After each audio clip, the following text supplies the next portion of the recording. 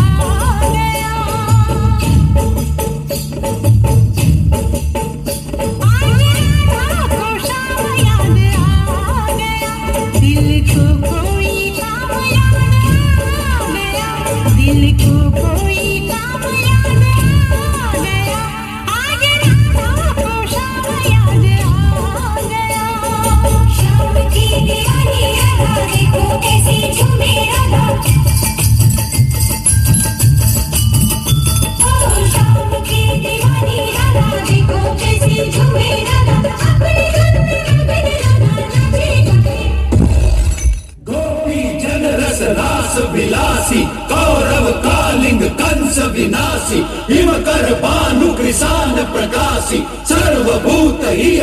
वैया की बोलो जय